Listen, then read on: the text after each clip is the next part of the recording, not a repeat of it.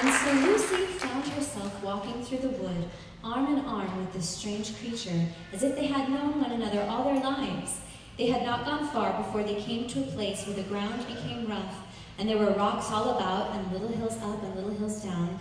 And at the bottom of one small valley, Mr. Tumnus turned suddenly aside, as if he were going to walk straight into an unusually large rock.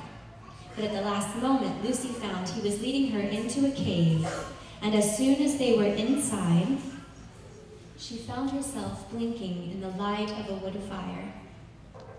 Now we shan't be long, said Mr. Tumnus, and he put the kettle on.